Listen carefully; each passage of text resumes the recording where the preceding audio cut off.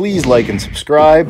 If you have any questions or you want to see a particular video made, please enter it in the comments section. I answer all comments. Thanks for supporting the Weightlifting Lab.